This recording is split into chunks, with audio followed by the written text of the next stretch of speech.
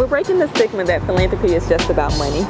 To us, the art of philanthropy is a unique and personal experience based on your resources and your passions, be it time, talent, or treasure.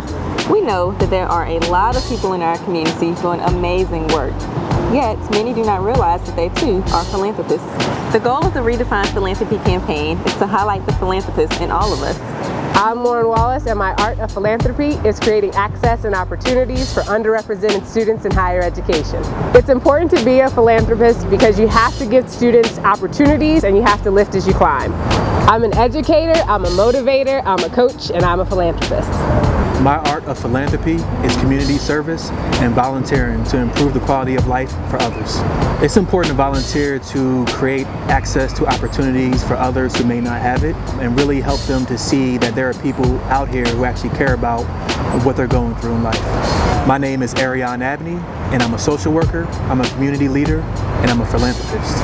My art of philanthropy is advocacy for black businesses. Black people in particular have a history that's different from any other group in this country. I think it's important for us that we learn economic structure and the importance of financial stability in our country in particular. So for me it's important to bridge the gap, even up the playing field for black people versus everyone else in the country. I'm a daughter, I'm a sister, I'm a friend, and I'm a philanthropist. My name is Kenny Donaldson, and my philanthropy is helping young people recognize their potential and realize their greatness.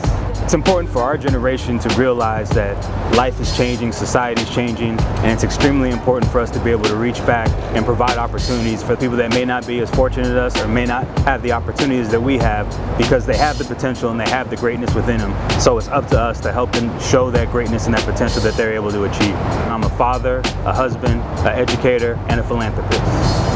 My art of philanthropy is using what God has given me to sow seeds into the good soil of others, making sure that they reap a good harvest in their life. I do this through education, through community engagement, through ministry, and most of all through giving myself and my time to other people. I'm a son, I'm an educator, I'm a poet, and I'm a philanthropist. I'm Christian Hughes and my philanthropy is teaching K-12 students architecture.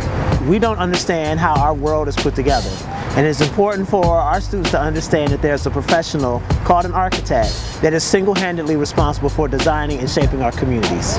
It is important to give back because need is a cycle. Everyone is always in need and even ourselves find ourselves in need. So if we invest that need, it will be reinvested into us. I am an educator, an architect, and I'm a philanthropist. My art of philanthropy is mentoring we always have to consider, you know, how we got to where we are. If it wasn't for the sacrifices of people who were in higher positions than us, then you know, we likely wouldn't be where we are today. So it's always good to just keep in mind that, you know, we have people that are looking up to us and a lot of people actually need help in getting to the next level. So it's up to us to prepare the next generation for what is to come. I'm a husband, I'm a father, I'm a man of God, and I'm a philanthropist. My name is Hervens Janis.